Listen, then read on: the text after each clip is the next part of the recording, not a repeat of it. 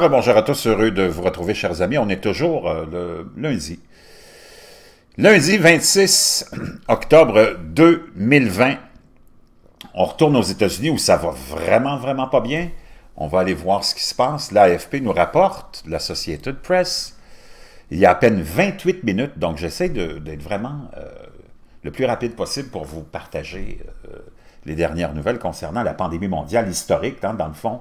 C'est pour ça que je consacre toutes mes euh, forces, mes énergies euh, sur la chaîne à vous parler de cette crise-là, vous donner des portraits de partout à travers le monde, de cette crise qui a changé nos vies pour, euh, en tout cas pour très longtemps, qui nous a amené dans probablement une des pires récessions de mémoire d'homme, Peut-être pas une dépression parce que les gouvernements sont là pour aider les populations, hein, pas comme en 29-30 où il n'y avait absolument aucune aide des gouvernements.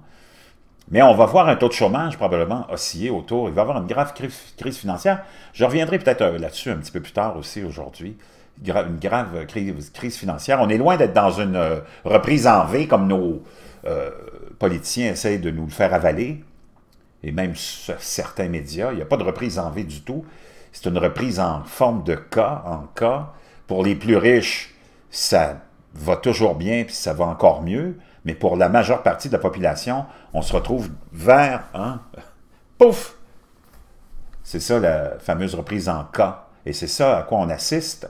On fait face encore à des euh, confinements qui vont durer pendant des mois et des mois.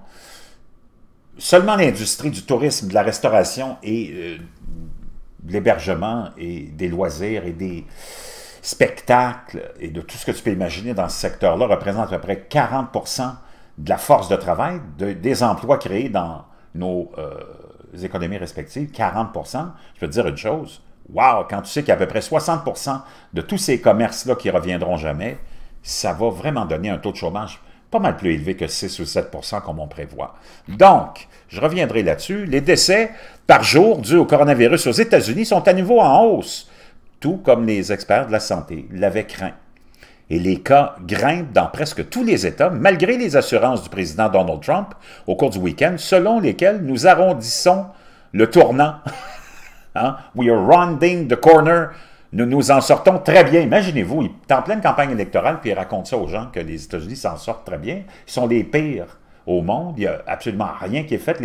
la Maison-Blanche a complètement, complètement sorti le drapeau blanc, abandonné, baissé les bras. Euh, la seule chose qui se fait aux États-Unis au niveau de l'administration Trump, c'est pas qu'on arrondit les, les coins puis qu'on arrondit le, on arrive au tournant, c'est qu'on tourne en rond, tout simplement. À peu près plus d'une semaine du jour du scrutin, le nombre moyen de décès par jour à travers le pays a augmenté de 10% au cours des deux dernières semaines, passant de 721 à près de 794 dimanche, selon les données de l'Université John Hopkins. Les infections confirmées par jour augmentent dans 47 États et les décès sont en hausse dans plus de 34 États. Les experts de la santé avaient averti que ce n'était qu'une question de temps avant que le nombre de décès ne s'aggrave, étant donné la flambée record de des cas engloutissant le pays. Les décès sont un indicateur retardé, c'est-à-dire qu'il faut généralement quelques semaines pour que les gens tombent malades et meurent du coronavirus. Michael euh, Osterholm, un expert de l'Université du Minnesota, hein, encore là on revient indirectement au Minnesota dont je vous parle souvent, sur les maladies infectieuses, qui a averti au cours de l'été d'une poussée automnale, a déclaré que ce qui se passe actuellement est une confluence de trois facteurs. La fatigue pandémique chez les personnes qui sont fatiguées de s'accroupir et qui s'aventurent davantage, la colère pandémique parmi ceux qui ne croient pas que le fléau est une menace réelle, et le temps froid qui oblige plus d'Américains à rester à l'intérieur où le virus peut se propager plus facilement. Lorsque vous mettez ces trois ensemble, nous ne devrions pas être, nous devrions pas être surpris de ce que nous voyons, à déclarer au euh, Osterholm, le virus est responsable de plus de 8,6 millions d'infections confirmées et plus de 225 000 décès aux États-Unis.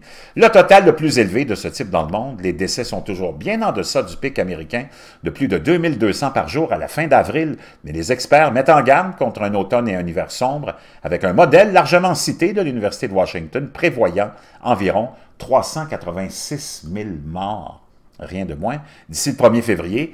Il est peu probable qu'un vaccin devienne largement disponible avant la mi-2021.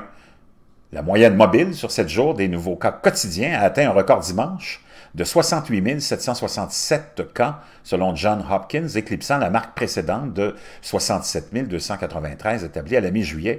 Les États-Unis ont enregistré plus de 80 000 nouveaux cas vendredi et samedi et les notes les plus élevées jamais enregistrées, bien que les tests ne soient, se soient considérablement développés au cours de l'épidémie, rendant les comparaisons directes problématiques. On pense que le nombre réel d'infections est beaucoup plus élevé car de nombreux Américains n'ont pas été testés et des études suggèrent que les gens peuvent être infectés sans se sentir euh, malades. Donc, ça va vraiment pas bien. Je vous laisserai tout ça dans la boîte de description. On vous donne des détails un petit peu plus précis sur chaque État, mais ça y est, les décès euh, augmentent à nouveau aux États-Unis, comme on le craignait.